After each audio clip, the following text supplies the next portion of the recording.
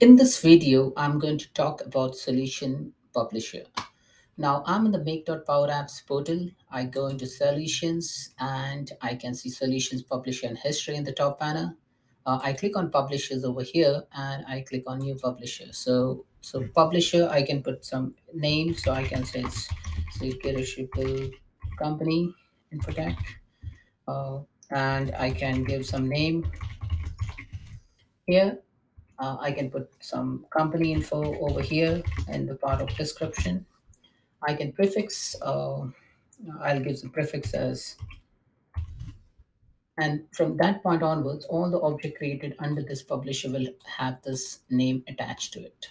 I can put my contact details. I can put my phone number.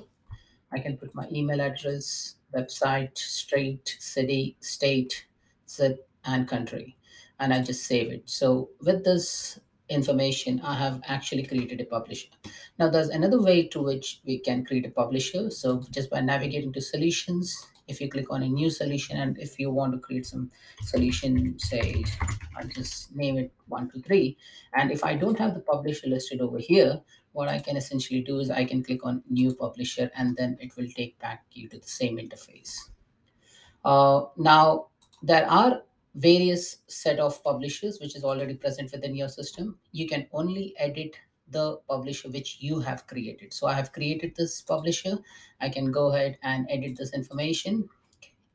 Uh, there are some publisher which is like belong to microsoft. So if i start editing this i will not be able to do anything on that front.